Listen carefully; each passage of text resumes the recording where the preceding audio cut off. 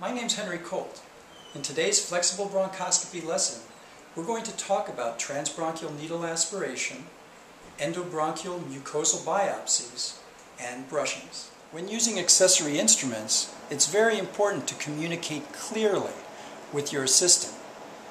When using a forceps, for example, I might say something like, open forceps, Open, close forceps. close, When using a brush, I may say, brush out, out, brush in.